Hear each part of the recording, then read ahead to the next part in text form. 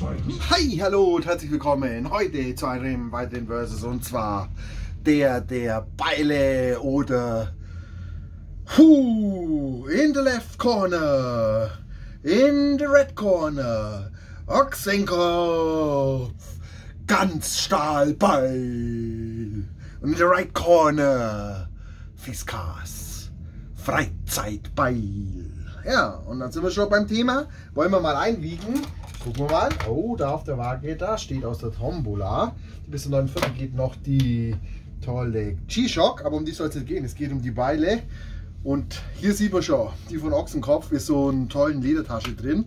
In einem Halter, wenn wir die rausnehmen, wow, wow, wow, wow, schaut die richtig lecker aus. Schön geschliffen, poliert und sogar, ich denke, mit Klarlack überzogen. Ja, da steht oben, man soll nicht mit dem Hammer hinten drauf klopfen und nicht verdrehen, soll man sie in der Schutzbrille und Sicherheitsschuhe tragen. Dann gucken wir mal, wie viel Gramm die auf die Waage bringt. 913 Gramm. Dafür muss man so ungefähr 50 Euro hinblechen, ein bisschen weniger. Und die von Fiskas, muss ich aufpassen, weil die ist nämlich scharf wie der Teufel persönlich, mit der kann man auch schnitzen. Die wiegt hier 578 Gramm. Also schon kleiner Unterschied, kleiner aber feiner Unterschied. Auch wieder zwei fast unterschiedliche Gewichtsklassen. Aber das macht nichts. Jetzt geht es mal die Daten und Fakten außenrum. Naja, wenn man die hier anschaut, dann sieht man gleich die Ähnlichkeit hier zum Beispiel mit diesem Ein-Komponentengriff von Picard. Das ist auch ein Ein-Komponentengriff.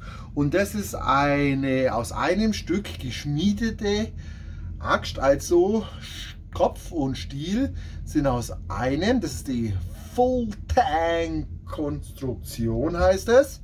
Full Tank Construction. Äh, um Holz zu machen um so kleine Schnipsel zu hacken. Es ist auch eine Campingaxt und man kann die am Gürtel tragen, habe ich gerade schon gesagt, mit diesem Lederhalter. Und es ist einfach ein tolles Gerät, die liegt auch gut in der Hand. Man kann die schön auch runterziehen durch den geschwungenen Griff. Echt eine Top-Sache, wie ich finde, von Ochsenkopf sind 7081, also seit 1781 gibt es diese Firma. Ja, eine deutsche Firma, Welt mit internationalem Einfluss, also weltweit bekannt, sagen wir mal so. Und echt ein Hingucker, ein tolles Beil. Wenn man das am Campingplatz raussieht, ja, kann man hinten auch mal einen Hering versenken. Ja, damit braucht man sich nicht verstecken. Und wenn nachts der Bär kommt, hat man auch eine Waffe, um sich zu verteidigen in der Blue Corner Fiskas Freizeitbeil mit Transportschutz um die 30 Euro. Man kann mit beiden eben so Brennholzscheidle machen. Durchmesser größer 3 cm kann man damit hacken. Und das hier ist ein doppelt gehärteter Stahl und der ist wirklich da vorne und das zeichnet diese Fiskas Axt äh, aus.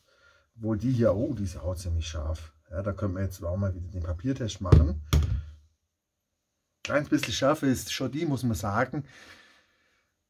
Deswegen kann man mit der auch schnitzen und die ist spezial beschichtet, das heißt, die gleitet schön durchs Holz und die hat diesen Fiber-Comp-Griff. Auch eine tolle Sache. Seine XXS-Axt.